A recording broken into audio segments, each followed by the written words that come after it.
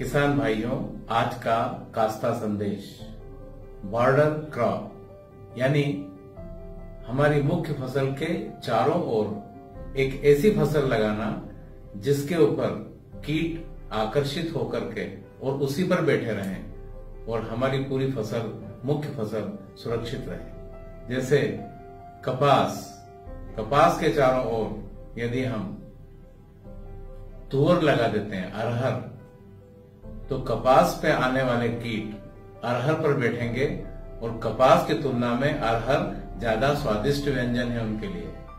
तो क्यों ना उनको अपन स्वादिष्ट व्यंजन पर ही आकर्षित करें और वहीं बिठाए रखें? यह है बॉर्डर